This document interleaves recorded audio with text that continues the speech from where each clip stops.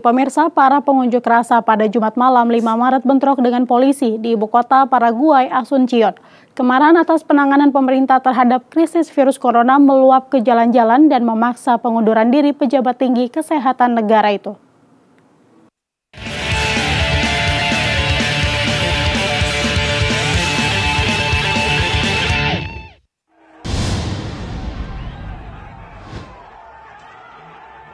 Pasukan keamanan menembakkan peluru karet dan gas air mata ke ratusan perusuh yang berkumpul di sekitar gedung Kongres di pusat kota Asuncion. Sementara pengunjuk rasa mendobrak penghalang keamanan, membakar barikade jalan, dan melemparkan batu ke arah polisi. Kerusuhan yang mengubah pusat bersejarah ibu kota menjadi medan pertempuran api, asap, dan tembakan ini terjadi di tengah kemarahan yang meningkat ketika infeksi virus corona mencapai rekor tertinggi dan rumah sakit di seluruh negara Amerika Selatan itu hampir kolap. Sebelumnya pada hari yang sama, Menteri Kesehatan Julio Mazzoleni mengundurkan diri sehari setelah anggota parlemen menyerukan penggulingannya.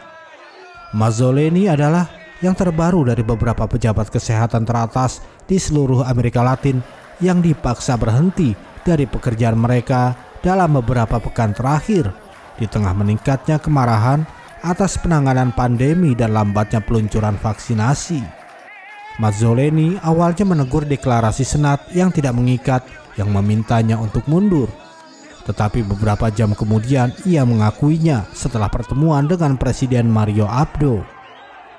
Abdo menunjuk Dr. Julio Borba, seorang wakil menteri untuk menggantikan Mazzoleni Borba mengatakan kepada wartawan bahwa dia akan mulai segera melacak obat dan persediaan.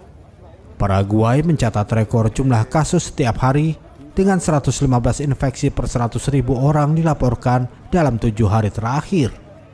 Data menunjukkan negara ini telah memvaksinasi kurang dari 0,1 persen dari populasinya. Dari Asuncion, Paraguay, kontributor Nusantara TV melaporkan